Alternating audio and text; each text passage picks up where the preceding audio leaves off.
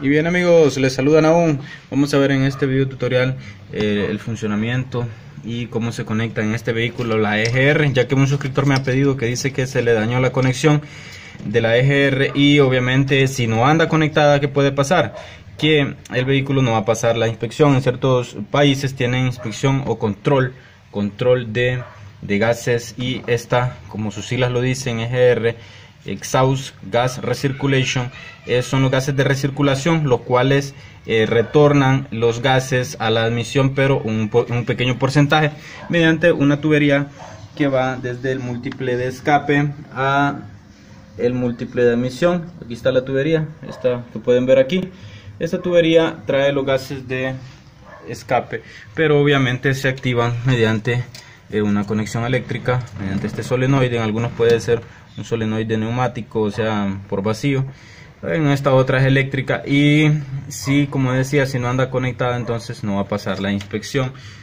mientras vamos hablando del funcionamiento de la EGR, eh, vamos a ver aquí los colores que tenemos porque en este vehículo obviamente y en todos traen diferentes conexiones pero lo importante es que eh, cada vehículo digamos un mismo motor trae un código de colores, el cual eh, de esa misma manera va a ir conectado en los demás motores del mismo tipo. Aquí por, eso tenemos eh, en el primero este, el de la derecha es azul con blanco. Eh, en realidad es un blanco como crema, azul con blanco a la derecha. Después sigue un verde con color amarillo. Aquí lo puede ver, es el, del centro, este que se este este es el del centro, es verde con amarillo. El siguiente es un azul con crema, que es muy similar a este otro, azul con crema, este que está aquí. El que es de la parte de abajo, aquí tenemos este que solo es azul, el del lado derecho. O sea, este del lado derecho es azul y el del centro, el, el color del centro es de verde con crema, que es similar al que está en el centro de la parte de arriba. Se puede verlo. Este de la parte de abajo es del centro, de la parte de abajo es similar al del centro de la parte de arriba. Y en el lado izquierdo acá tenemos el único que se diferencia más que, que es el rojo con raya azul. Para probarla, entonces ponemos eh, contacto a la llave, o sea, ignición, y vamos a probar. Bien amigos, probando con el tester tenemos que si ponemos el negativo en la batería y ponemos obviamente en DC una escala de 20 corriente directa o voltaje directo vamos a probar en el centro aquí podemos ver. En el centro nos marca 12 voltios ahí puede ver. O sea en la línea verde con crema. Y en la otra línea verde con crema de la parte de arriba también nos marca 12 voltios ahí puede ver. Quitamos ponemos. Entonces está marcando 12 voltios.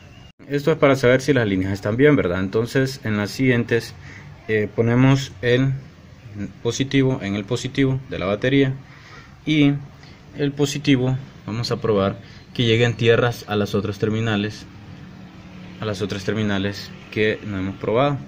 Ahí está una llega tierra porque está marcando. Probamos esta también. Va a dar tierra y vamos a probar esta también. Y ahí puede ver tierra. O sea que marca voltaje porque quiere decir que llega el negativo. Entonces ya tenemos los negativos. Y esto solamente es para comprobar si las líneas están correctas, si no están cortadas de alguna otra parte, porque lo más común le diré que es eh, cuando falla esta, deja pasar cierta cantidad de gases por este conducto. Aquí puede ver, entra aquí y entra al múltiple de admisión, ya sea en vehículos turbo o aspirado natural. Entonces, cuando está dejando pasar demasiado gases, entonces el vehículo, la falla que va a hacer es que se puede atorar. El vehículo puede hacer, eh, puede encender la luz de, check engine también. Entonces le está indicando que tiene algún problema la válvula de EGR. Como le digo, amigo, quizás no sea común que se le corte la línea, se corten las líneas o se como el, amigo que nos escribió que quiere saber eh, cómo van conectadas, pero eh, lo más común es que tenga que limpiarla, tengan que sacarla y limpiarla porque se llena de carbón. Todo lo que es esa parte de aquí abajo, eh, todo lo que es esa parte de aquí abajo se llena de carbonilla, eh, más cuando incluso los vehículos han gastado aceite, han gastado, han consumido aceite, entonces pasa eso que se llena de carbón porque retorna ese mismo aceite, obviamente retorna por el escape, por estas tuberías y entra acá la parte de la válvula EGR entonces es necesario una limpieza. Casi siempre es, sucio. Entonces em, algunas personas lo eliminan. Algunos dicen ¿qué pasa si lo elimino?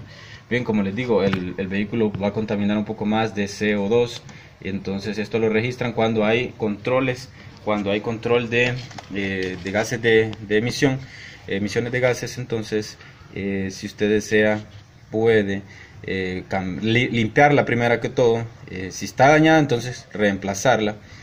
y de esta manera va a quedar mejor el vehículo. Una vez ya conectado, aclarando, ¿verdad? Que estas líneas que les acabo de mencionar, que unas son positivas, otras son negativas, pueden variar, pueden variar en frecuencia, pueden variar. Entonces no es que siempre usted va a conectar un tierra, sino que esto viene medido desde la computadora, obviamente. Entonces no es que le va a meter corriente a esto, sino que ya viene y tendría que revisar lo que es el alambrado. Si no le da alguna señal el alambrado, entonces tendría que revisarlo. E incluso fusibles, porque muchos muchos vehículos ahora trabajan con fusibles. Ir incluyendo la EQ o la unidad de control electrónica tendría que ser revisada.